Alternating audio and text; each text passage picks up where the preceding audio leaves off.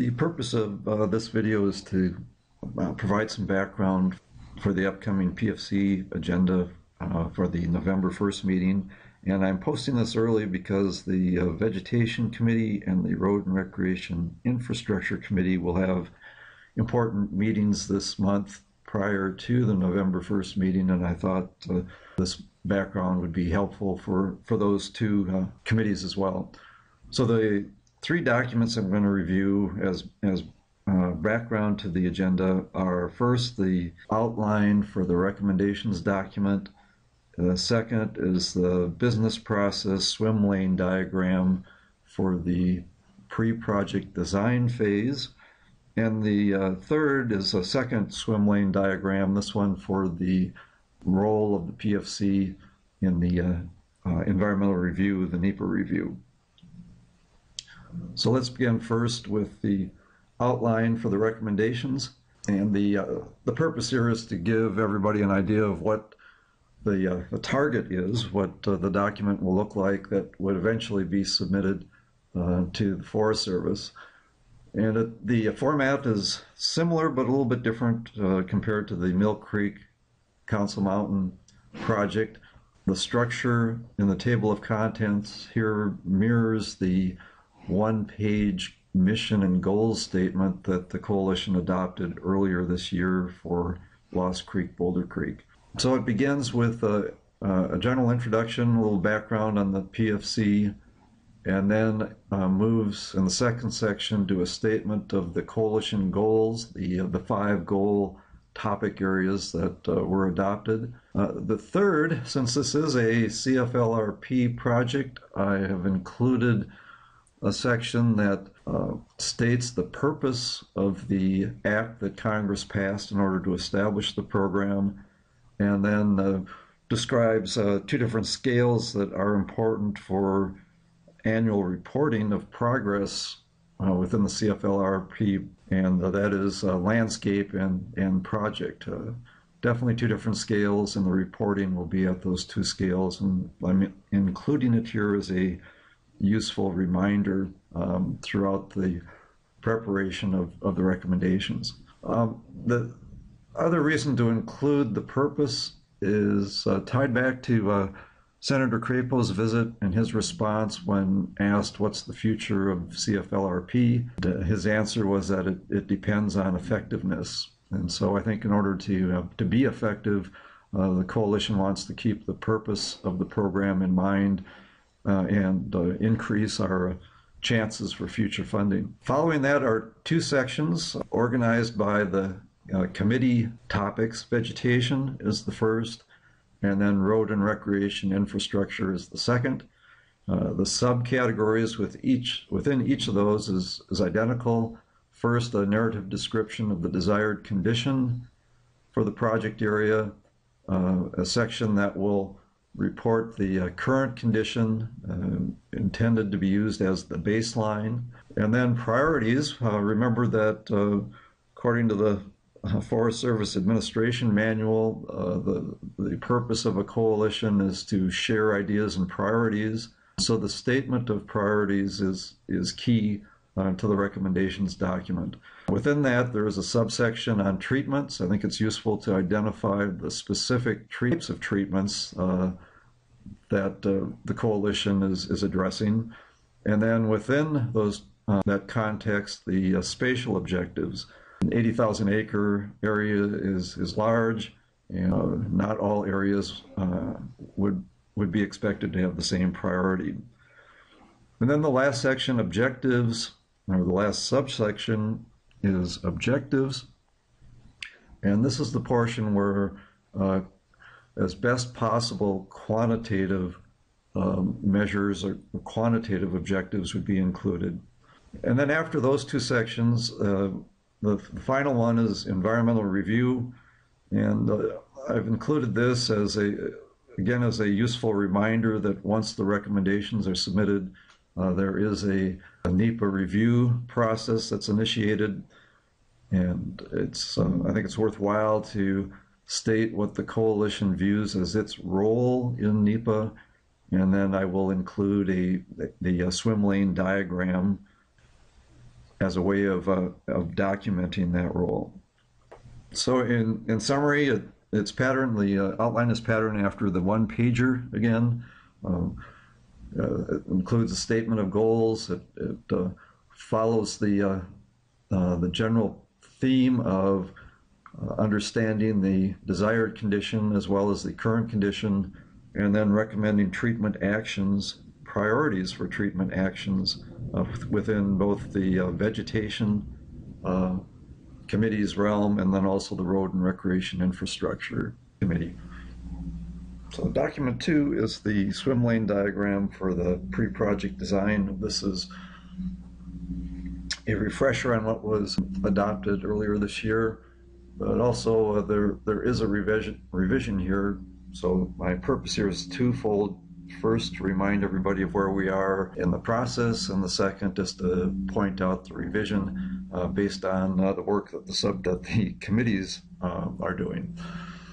So the the major interaction here is between the uh, uh, the PFC and the um, ID team. And as everybody is aware, um, we're in this committee process for both vegetation and, and uh, road and recreation, uh, where the subcommittees have been interacting with the ID teams. Somewhat of a delay this summer for both. Uh, in the case of uh, vegetation, their recommendations uh, in late spring addressed or asked questions that uh, needed to be addressed in the uh, field season data collection. And so they will be reporting on the status of that uh, and refining their recommendations based on uh, the results that they're re reviewing in October. And then uh, with uh, road and recreation, the uh, travel analysis process has taken longer than, than originally anticipated. And so they will be reviewing data uh, particularly the roads data, broken into three categories. Given the, the original timeline and where the committees are now, there is a added loop here in the diagram, and uh, basically what happens is in the development of recommendations, there'll be an initial set from probably from both of the committees, and then a question asked, uh, is it ready for the final decision, the final recommendation? Uh, by the entire PFC? If yes, uh, then it goes on to the ID team to uh, design the proposed action and, and alternatives, and from there to the line officer for uh, releasing the notice of intent uh, in the Federal Register. If um, the answer is no, that uh, there's a need for an intermediate decision, and, and the uh, committee chairs think that this is likely, then there'll be a loop uh, work again with the ID team, uh, get additional data, and refine the recommendations. And it's anticipated that this refinement will likely be addressing the quantitative objectives for the recommendations. So overall, uh, the business process, the swim lane diagram has a similar flow, uh, but uh, there's a, a modification to this decision block. Uh, is it an intermediate decision that needs refinement? It uh, goes through a loop, comes back uh, with the ID team and the committee interacting. Um, if yes, the, the group is ready for the final decision and adopts it by consensus, then it, the recommendation is passed on to the ID team to design the proposed action. Okay, behind door number three now for the agenda preparation is the swim lane diagram for NEPA. And I think we may have seen a reviewed an early draft of this uh, in late spring, but didn't spend a whole lot of time on it. But in any event, um, it's uh, time to uh, to review it and and make changes as needed, and then um, adopt it by consensus. There was no formal action taken on, on this swim lane diagram. Similar to the other one, there are uh, three swim lanes, the line officer, the uh, ID team, and the, and the uh, coalition. And the starting point is uh, releasing the notice of intent, intent to prepare an environmental impact statement uh, in the Federal Register. And that initiates scoping The ID team then convenes public meetings, and I'm guessing we'll also have a field tour similar to what was done uh, with uh, Mill Creek Council Mountain. Uh, they receive and document those comments and identify resource issues. Now, in order to, to keep the arm's length relationship between the line officer, the Forest Service, and the uh, coalition, I've got a dotted line here representing the process we used last project, and that was um, the coalition submitted a FOIA request for the comments that were received. So any any individual or any organization can do that. So there's nothing special going on here that would uh, be a, a, violation of uh, FACA. Uh, the coalition then will review those comments, look for new issues. Are there scoping issues that were raised that uh, would merit reconsideration of the recommendations and priorities uh, by the PFC? If no, nothing would need to happen. If the answer is yes, there would be some modifications and uh, comments submitted back to the Forest Service so they would be aware of the, uh, the change in recommendations based on that new information. Uh, then the ID team um, analyzes the alternatives, uh, drafts the uh, EIS, and releases the draft. At that point, the coalition engages again to review and comment on the draft EIS and submit a letter accordingly. And that letter and those comments would be reviewed uh, as, uh, as part of the uh, preparation for the final EIS, and then the line officer would uh, make uh, his findings and, and uh, publish the final EIS and the record of decision. I think a, a fair question, uh, the coalition members may look at this and, and say, well, this doesn't uh, eliminate what happened last time where there were surprises, and uh, in particular with one watershed and, and the local population of bull trout and, and critical habitat. Uh, I, I, think it's important that we distinguish between uh, two different things here.